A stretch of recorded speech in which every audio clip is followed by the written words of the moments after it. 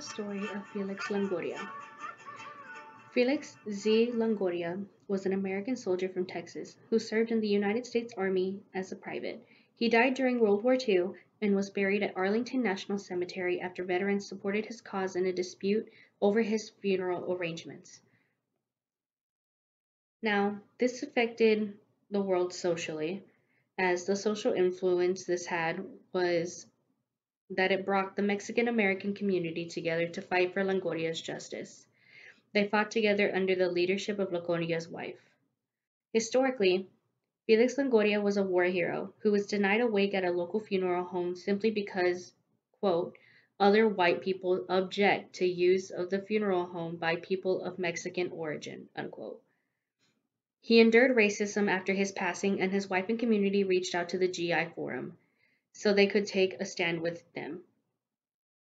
Hector P. Garcia was the one who was leading the GI Forum at the time and conducted a letter to be sent to Lyndon B. Johnson on behalf of the, of the Longoria family.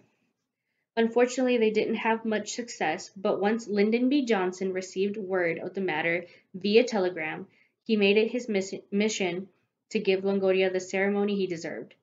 This event showed that there was serious racial issues happening in the community at the time, and Longoria had been friendly and well liked amongst everyone in the community, no matter what race.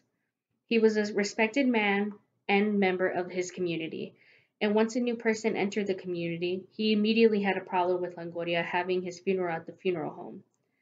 This led to so much change for Three Rivers, Texas, and the GI Forum, and they were actually able to branch out and have one in every state therefore benefiting other veterans from having this issue happen again. Eventually, everything changed for the better while also fighting against racism in Texas. This story is historically a major point in Mexican American history. It changed the course for a lot of Mexican Americans who were fighting in the army and other military branches. With that being said, Felix Longoria is seen as a war hero from then till now.